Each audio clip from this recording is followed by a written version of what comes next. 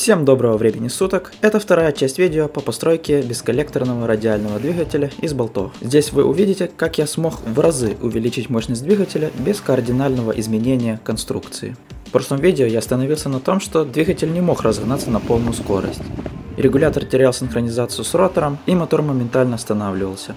Начал решать проблему с магнитов. Наконец-то с Алиэкспресса пришли хорошие мощные магниты. По характеристикам они во всем выигрывают у старых. И по мощности они лучше, и по размерам они больше. Размер у них 10 на 5 мм.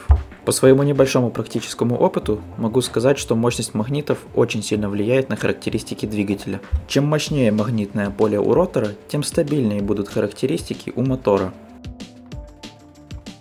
Так как магниты толще, придется уменьшить диаметр ротора.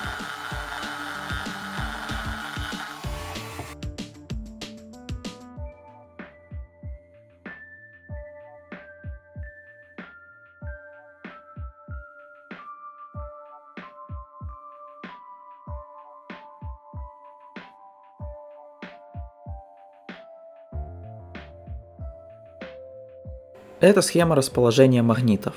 Здесь они указаны снаружи. Их 6 штук, и полярность соседних магнитов должна отличаться.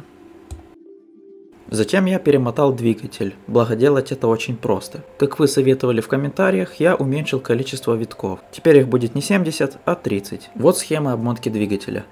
А если кто-то хочет подробнее видеть, как его намотать, смотрите первую часть.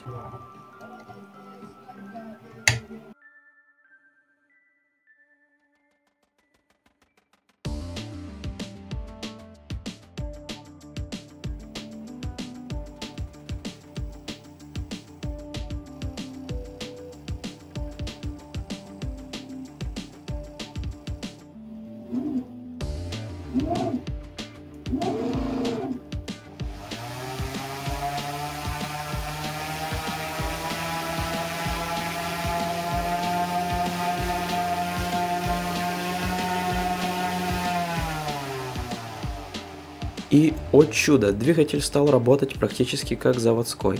Только вот в холостой его раскручивать нежелательно, так как магниты все-таки разлетаются. Но на этом я решил не останавливаться. Как вы мне многие советовали, я решил сместить обмотку ближе к ротору,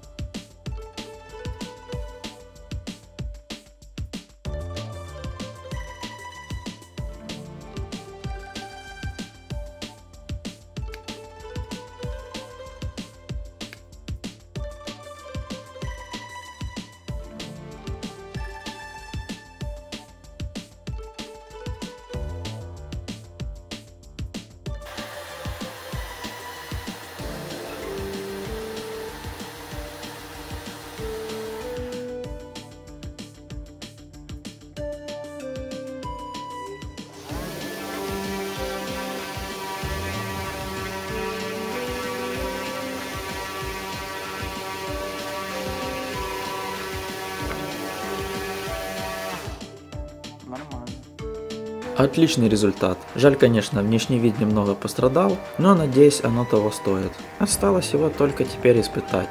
Узнать его мощность, вес и тягу, которую он может создать. Проверял на тягу я три винта. Оранжевый 10 на 4,5, серый 11 на 5,5 и черный раскладной винт 13 на 6,5. Первые испытания оказались неудачными, так как батарея была практически разряжена. Но зато можете посмотреть, как красиво крутится пропеллер.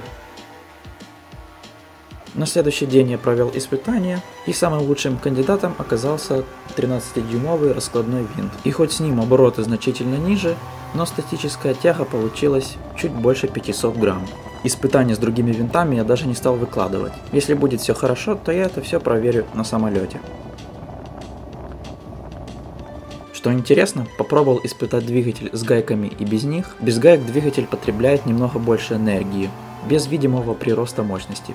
Что по поводу самолетов, на котором этот мотор будет, то у меня есть несколько кандидатов. На данный момент дома у меня находится только один самолет, который вы сейчас видите на видео.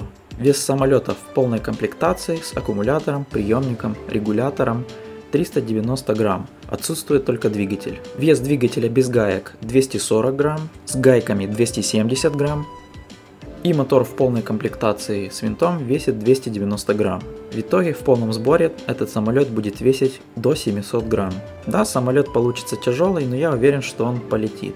Не факт, что двигатель я буду испытывать именно на этом самолете. Может быть даже специально построю новую модель под этот двигатель. К сожалению, из-за недавних ужасных событий летать сейчас запрещено. Надеюсь, что скоро это все закончится, и вы увидите, как этот мотор поднимает самолет в воздух. Хотел бы поблагодарить вас за большую активность на канале, за то, что вы пишете положительные и конструктивные комментарии. Все ваши комментарии я читаю и по возможности стараюсь отвечать. Если у вас есть какие-то интересные идеи, пишите в комментариях и может быть я это реализую в жизни.